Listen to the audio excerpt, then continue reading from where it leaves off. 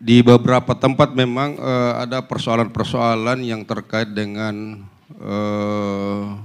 anak-anak uh, putus sekolah ke, karena ketidakmampuan ekonomi.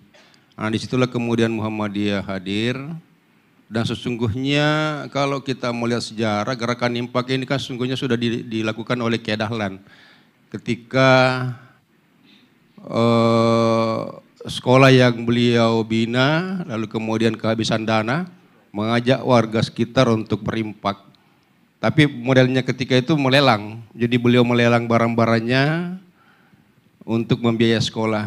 Tetapi hasil lelangnya kemudian diserahkan ke sekolah, barang-barang tidak diambil oleh yang yang memenangkan lelang itu. Nah, ini kemudian kita coba uh, uh, apa angkat kembali uh, spirit kedahlan itu untuk mengajak warga Muhammadiyah, tentu juga masyarakat umum, para pengusaha untuk kemudian bagaimana melihat bahwa uh, pendidikan ini tidak menjadi tanggung jawab penuh orang tua sendiri, tetapi menjadi tanggung jawab kita masyarakat secara keseluruhan.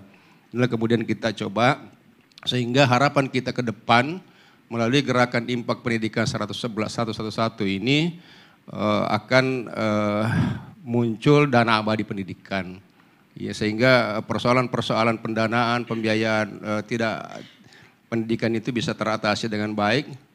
Kita berharap bahwa tidak ada lagi anak-anak kita yang putus sekolah hanya karena persoalan persoalan pembiayaan. Kemarin masih dapat kita berita anak-anak tidak apa putus sekolah hanya karena tidak bisa beli seragam, tidak bisa bayar SPP dan sebagainya. Walaupun kalau SD kan sudah gratis, tapi pembiayaan-pembiayaan lain yang tentu masih ada.